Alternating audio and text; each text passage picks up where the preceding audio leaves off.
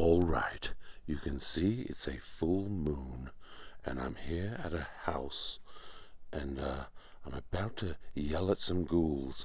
It's, it's 3 a.m., and I've been told that the family is away, and there's an infestation here that needs dealing with, and so, um, I'm gonna yell some really nasty stuff at these ghosts.